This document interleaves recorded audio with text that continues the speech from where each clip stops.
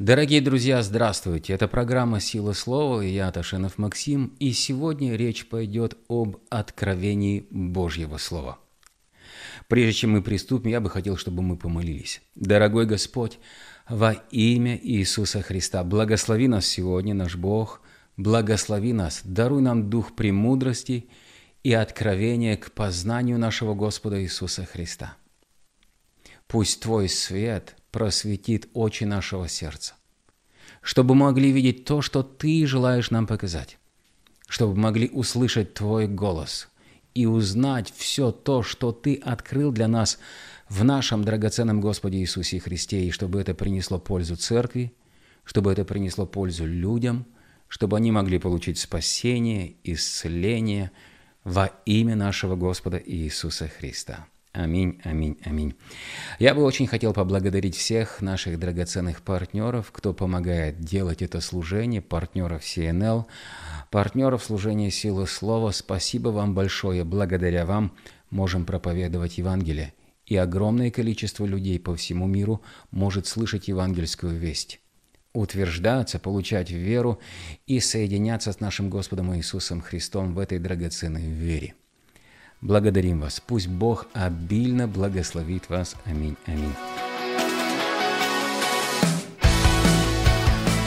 Итак, откровение – это действие Божье. Что-то, что было спрятано. Не от кого-то, а для кого-то. Откровения принадлежат Божьим детям, тех, которых Бог любит тех, которые Бог привлекает к Иисусу Христу. И вот что говорит Ветхий Завет, вот что написано в Ветхом Завете. «Если вы откроете со мной книгу Второзакония, 29 главу, 29 стих, здесь мы можем прочитать следующее. «Сокрытое принадлежит Господу, Господу Богу нашему, а открытое – нам, и сынам нашим до века, чтобы мы исполняли все слова закона сего. Сокрытое принадлежит Богу нашему. Есть вещи, которые сокрыты. Есть вещи, которые непонятны. Есть вещи духовные, невидимые, небесные. Есть вещи, которые нашему человеческому разуму очень трудно понять. Нам трудно понять безграничность и могущество Бога. Нам трудно своим человеческим интеллектом понять, каков Бог.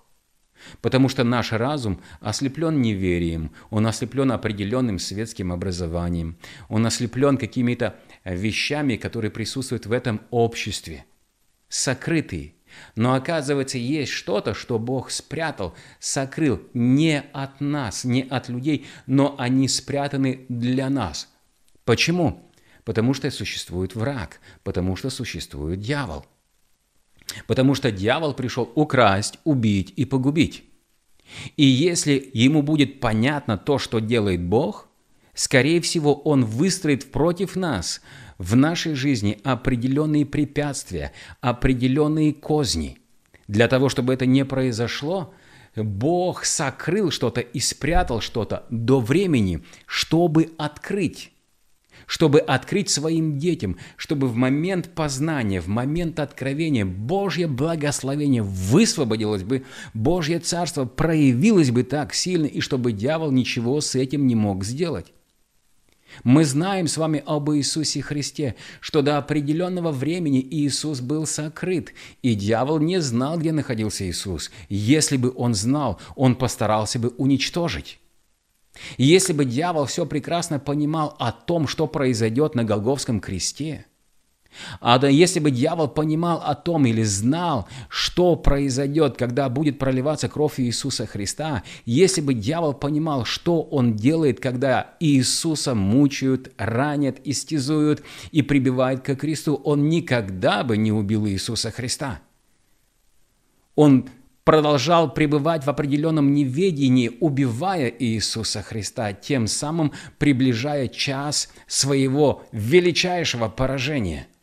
Потому что по замыслу Божьему Иисус должен был взять на себя все наши грехи, преступления, беззакония и умереть на кресте.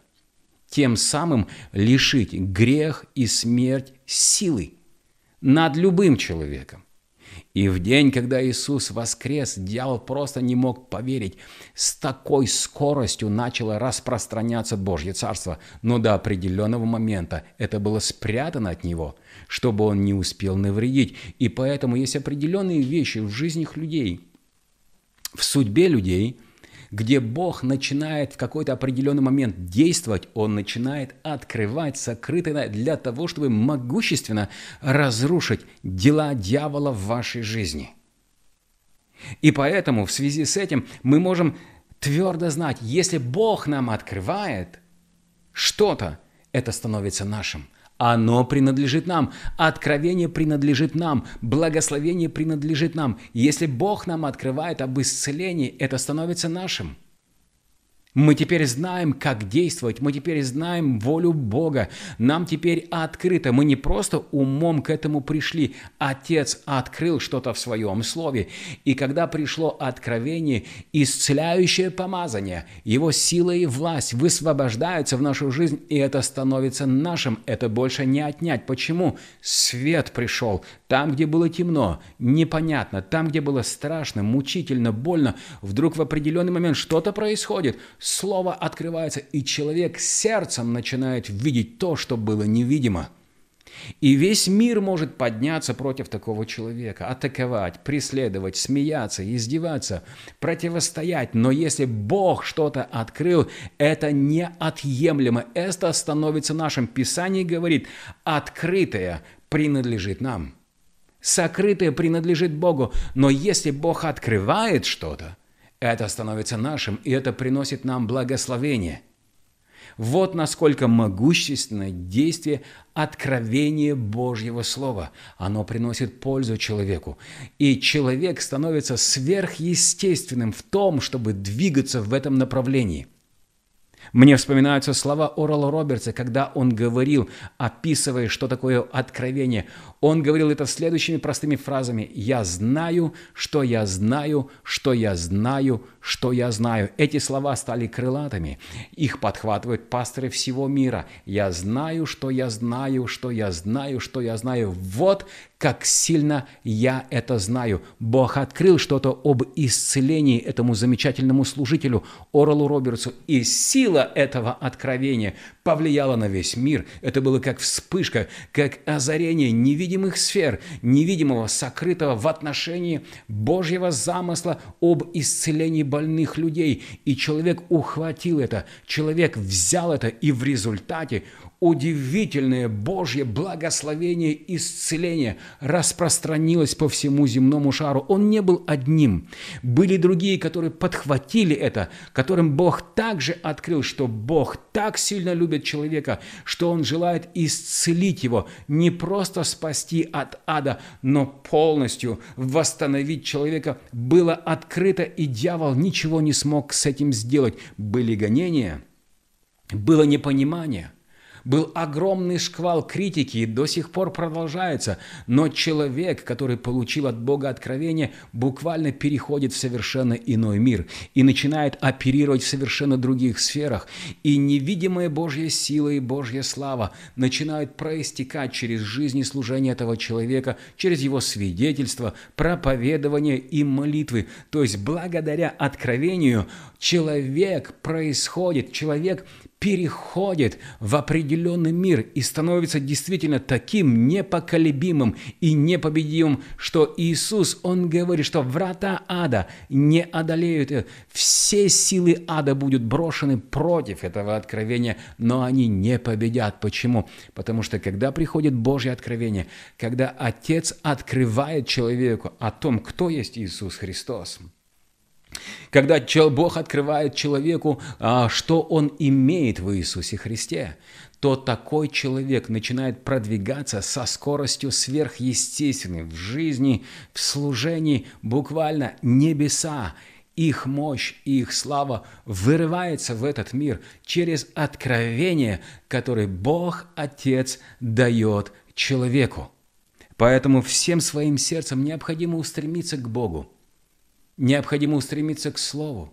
и просить Бога, чтобы Он даровал нам откровение. Если что-то закрыто человеку, человек может своими физическими силами, силами и знаниями, и умениями, и через связи добиваться, и не получит ничего. Почему? Потому что если небо закрыто, если слово закрыто, человек, он как слепой, а если слепой поведет слепого, оба упадут в яму. Так говорил Иисус. Это значит, что люди, которые живут в этом мире, они подвержены всем этим законам влиянием естественного, человеческого, падшего мира – и когда мы теми же средствами пытаемся решить жизненные проблемы, которые по сути духовные, у нас ничего не получится. Мы можем потратить годы на это, но если мы воззовем к Богу об откровении, непобедимое откровение Божьего Слова принесет победу и поможет нам вырваться из этих ям, подняться и действовать со властью и силой Бога. Аминь. Увидимся через минуту. Дорогие друзья, наши партнеры, драгоценные партнеры служения Силы Слова, Бог да благословит вас. Вещание этой программы стало возможно благодаря вашей щедрой поддержке. Пусть Господь обильно благословит в ваших даяниях, в вашей вере, в вашем посвящении. Я верю, что Бог будет обильным, уникальным образом благословлять каждого, кто принимает участие в распространении Евангелия. Я также обращаюсь к тем, кто хочет стать нашим партнером. Если вы хотите стать партнером служения Силы Слова, напишите по номеру, который вы сейчас увидите на ваших экранах, и мы дадим вам хорошую информацию о том, как стать партнером служения Силы Слова. Бог да благословит всех вас. Аминь. Вы также можете пожертвовать ваши финансы на нашем сайте octau.church в разделе «Пожертвования» указав номер вашей карты, дату и трехзначный код вашей карты на обратной стороне, выбрав необходимую сумму для пожертвования и нажав «Оплатить». Служение «Сила Слова» благодарит всех наших партнеров за участие в этом важном служении.